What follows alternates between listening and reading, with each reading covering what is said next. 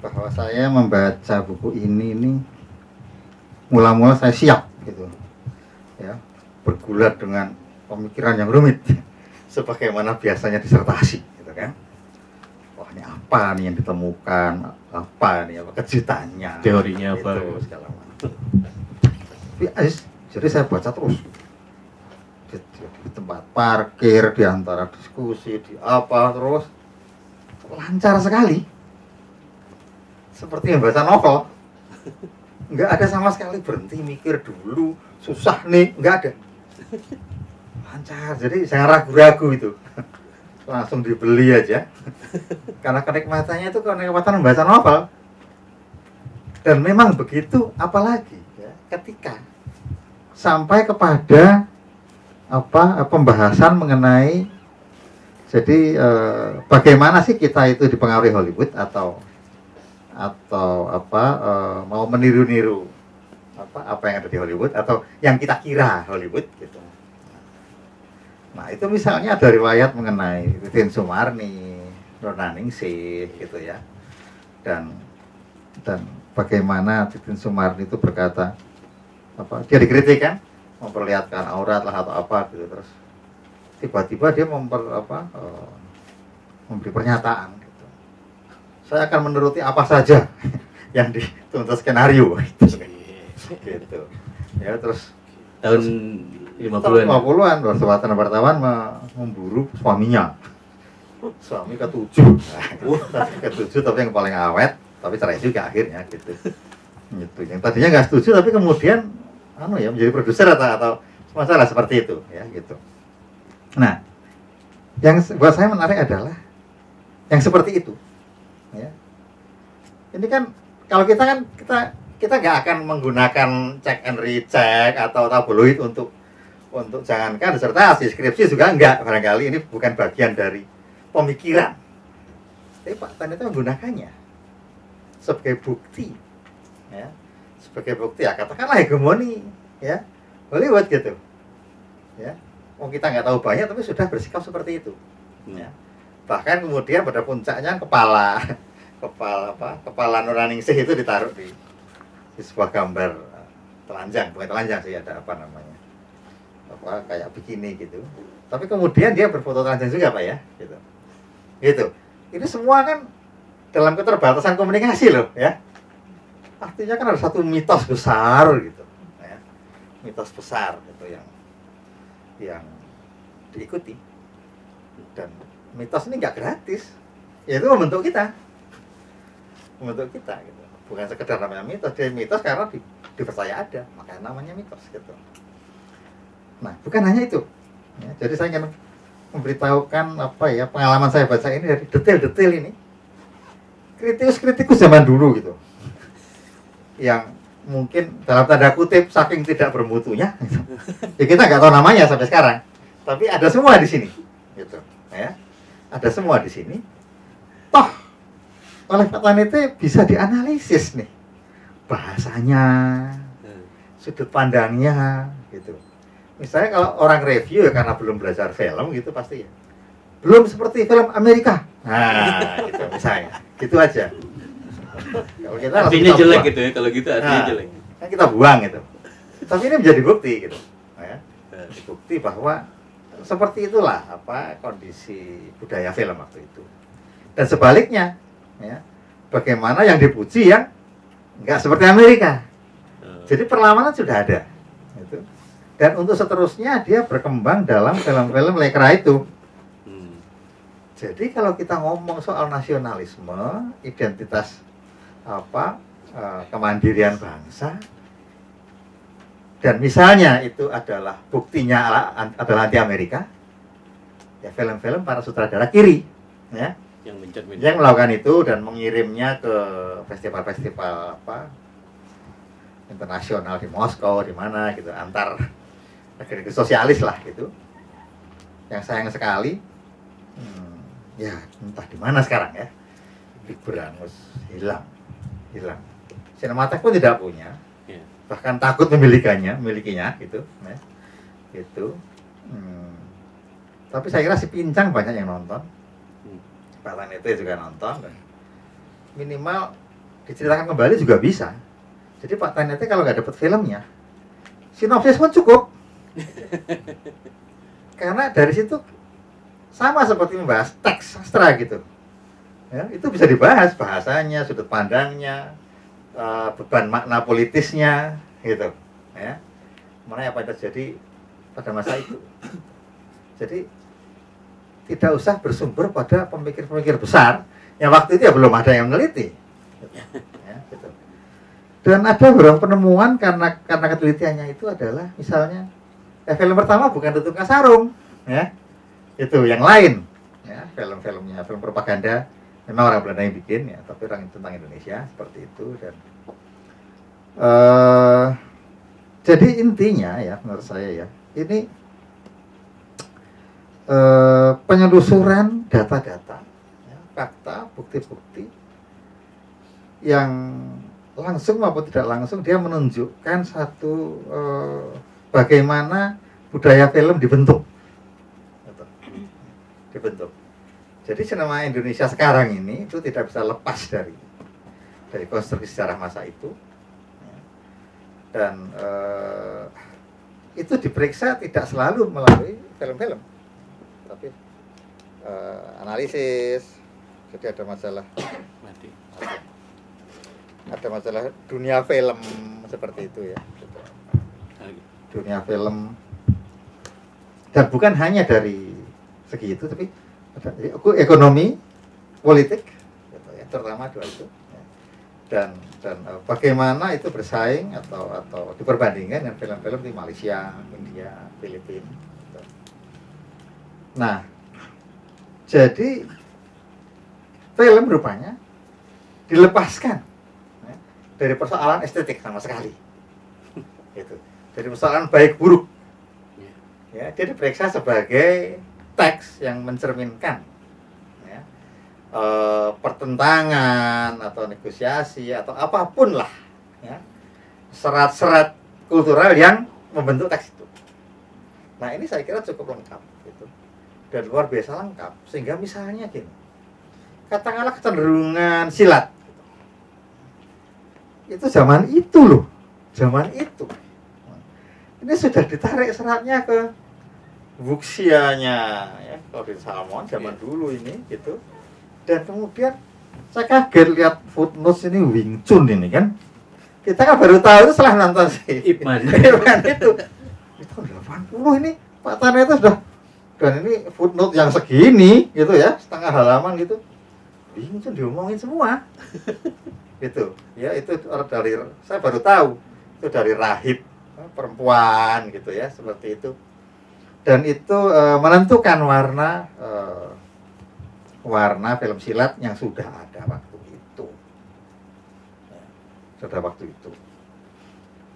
Ya seperti itu disebut juga Soekarno dari tujuh tahun dia udah nonton film. Itu dan eh, meskipun tampaknya seperti kayak dalam tanda kutip hanya rajin gitu ya gitu. hanya rajin.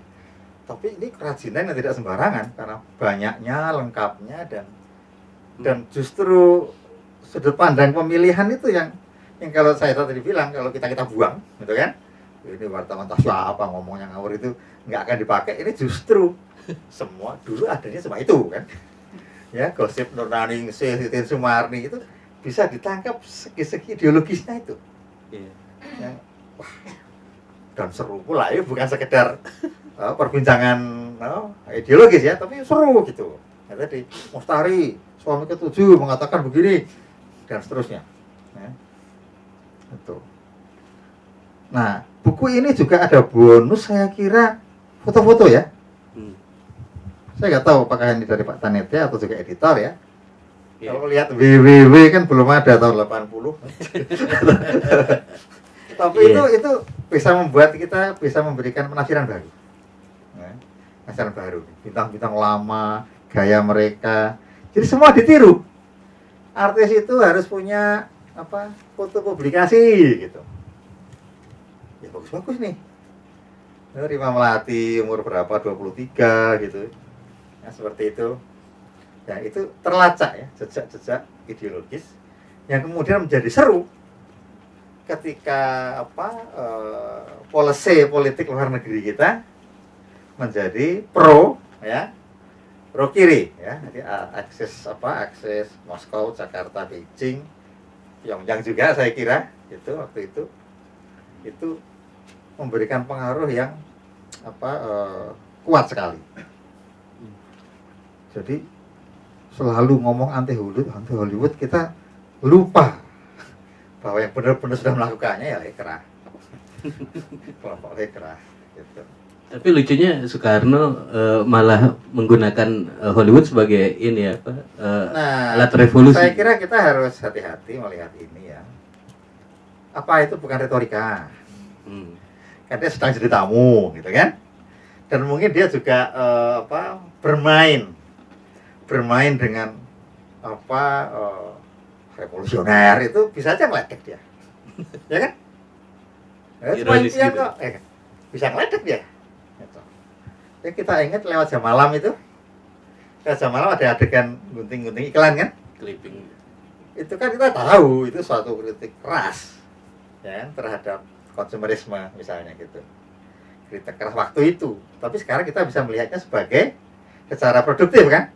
Rupa-rupanya hanya iklan saja bisa membuat orang merasa layak hidup. Merasa pantas hidup gitu loh ya. Hmm. jadi impian itu sahih gitu loh.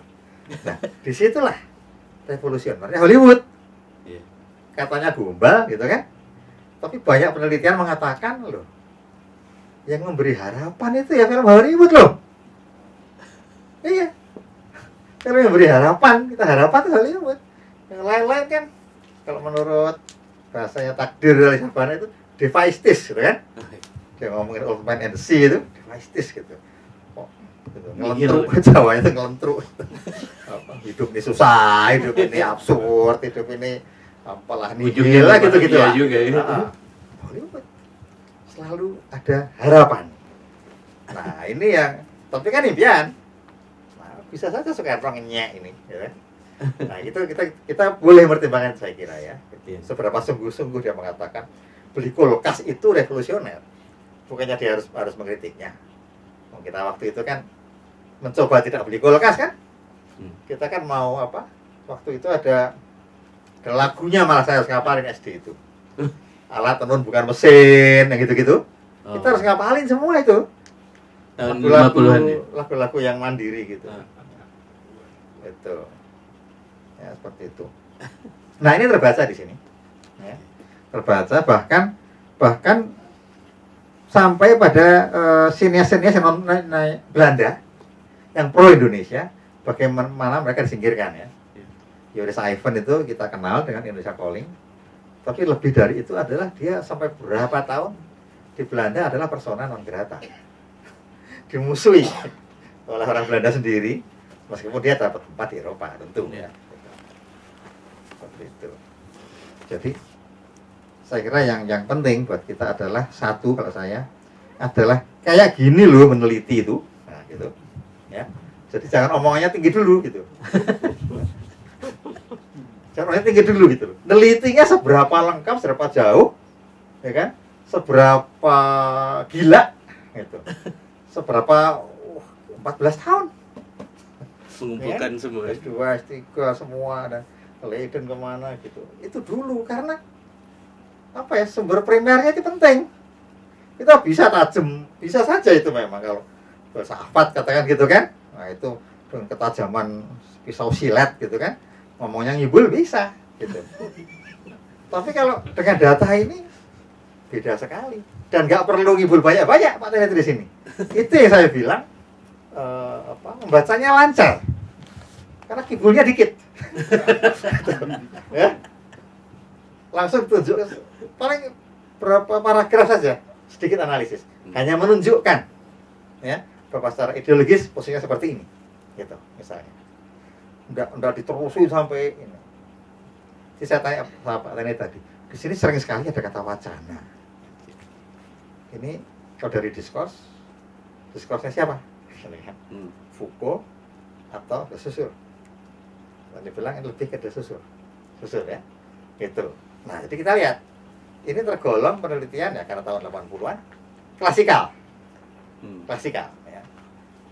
kita bisa sebut modern gitu kan eh bukannya posmo kalau posmo itu kan terus dibalik-balik semua gitu kan. dibalik-balik semua gitu Oh gitu ya rumusnya. ya? nah ini enggak kita enggak akan ruwet enggak akan pusing gitu ya jadi bukti-bukti itu eh, disusun sebagai satu konstruksi ini apa konstruktivis gitu ya Iya. gitu Dari temuan. tapi berhenti di sana Iya. nah jadi itu saya kira eh, itu yang saya lihat ya. saya heran tadinya kok, enteng? Gitu. Ya. Justru itu penting karena jernih sekali. Hmm. ya kan? Seperti cerita yang yang jangan lupa bahwa cerita yang sepertinya melan, apa, eh, mengalir lancar dan ring, seolah ringan ini disusun oleh semuanya fakta yang betul-betul ada. Gitu. Nah, itu. Jadi ya jernih. Gitu, jernih. Jadi tidak banyak sekali fakta data yang kurang itu ditutupi ya, dengan kecanggihan analisis ya. Ini tidak terjadi di sini. Terjadi di sini. Ya saya kira itu dan gambar ya dia memberikan peluang kita menafsir yang lain ya. Pak itu begini kita lihat yang lain gitu ya. Jadi fair. Hmm. ya kan? Fair gitu. Dan Pak Tenete jujur mana film ditonton mana tidak gitu kan mana yang diperiksa sinopsisnya saja mana yang dilihat dan yang dilihat ini berapa lama berapa jam Pak Tenete ya habis waktunya itu di, di Leiden ya. Kami tonton sendiri dan ada komentar bagus enggaknya gitu kan dan membosankan apa tidak gitu. Nah itu itu sangat membantu saya kira untuk untuk apa ya sebagai sumber primer gitu. Dan ya saya sebagai mahasiswa itu kan ngapalin tuh Albert Baling, Manus Franken gitu. Ya cuma nama. Di sini bunyi nih. Hmm. bunyi ya. Apa eh, sisi-sisi ideologisnya. Hmm. ya apakah mereka bekerja untuk propaganda gitu ya. Dikejar hutan. Ah, ya seperti itu. Itu itu menarik. Iya. jadi apa yang ada di bukunya Pak Misbah itu jika itu adalah data kerangka saja ini ada dagingnya lah gitu ya Mas kalau dibandingin dengan buku eh, sejarah film yang Garin eh, Nugroho tulis kemarin itu gimana? Mungkin ada perbandingan? Dengan segala hormat saya belum menengoknya Oke. dengan hormat loh saya belum menengoknya itu. Itu. tapi saya kira Garin perlu belajar ini nih di sini saya kira Ya. Apa jadi opini apa pun pendapat apa pun tuh semua ada sumbernya di sini Hmm. dan bukan hanya pada filmnya saja reaksi penonton gitu ya. Hmm. yang ada beritanya di koran kira dan analisis mengenai sampai ke kostum-kostum gaya apa Ya. gaya berpose itu dan analisis tadi apa El Monroe itu ganti kepala itu sampai sampai pencahayaan tuh kayak detektif lah ini cahaya dari sana ya pasti tempelan kan nggak sama gitu, Iya. gitu. Gitu. ya untung belum ada Photoshop waktu itu ya dan langsung ketemu juga aslinya perbandingannya Oh, iya. Gitu.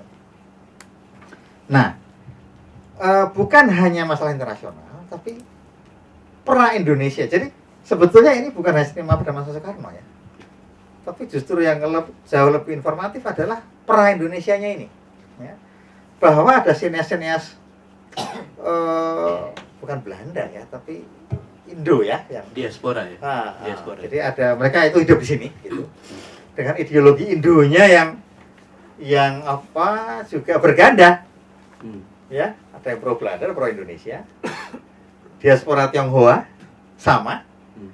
Kita dalam masa reformasi ini sudah terbiasa mencoba apa berusaha bersikap adil kan? Gitu.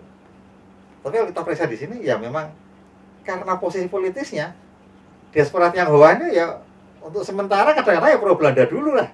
Wong Indonesia belum jelas gitu. Nah, itu ya itu eh, melahirkan film-filmnya juga pandangan seperti itu.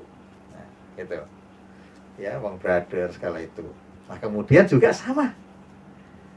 Eh, kita kan nggak boleh ngomong pribumi sekarang, Hmm.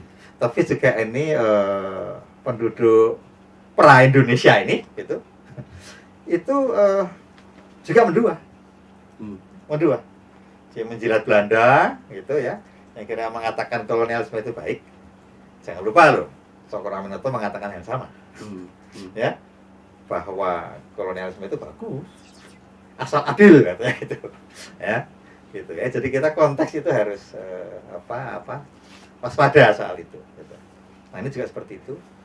Nah, nah memang baru Ismail Ismail ya Iya. nah itu memang agak kentara antara lain juga karena posisi Usmar ya kan di tengah orang pergerakan kedekatan dengan Syahrir Rosihan semua itu itu mempengaruhi Pak Tan itu juga bicara mengenai bagaimana film dilecehkan Iya. ya.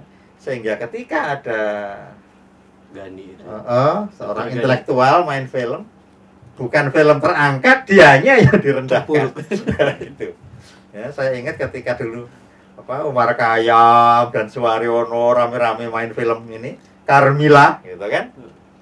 Itu saya kira ada semangat yang sama ya gitu. Semangat yang sama gitu.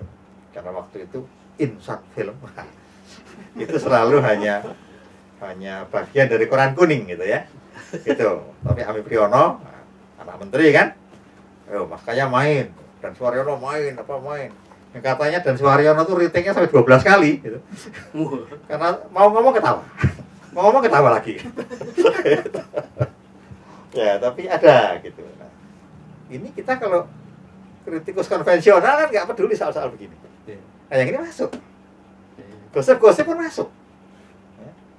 karena itu sudah merupakan satu apa jadi tidak ada hierarki teks gitu. Ya. Semuanya bisa dipakai itu sahih. Itu ya ya saya kira jadi gitu kita bisa ngelihat film Iya. sebagai apa dengan beban makna eh, politis dan bahwa faktor ekonomi itu memerlukan pembentuk langsung Hmm. dari perkembangan sejarah film itu sendiri ekonomi politik itu Materiality Ah, dari film ah. itu penting ya di sini. ya, ya. jadi ini eh, estetika di sini ya, ya disebut sedikit-sedikit aja Oke. saya fakta saja oh ini dia ke film seni gitu tapi nggak penting film itu kayak seni apa enggak nggak penting Iya. gitu. ya mungkin udah nggak musim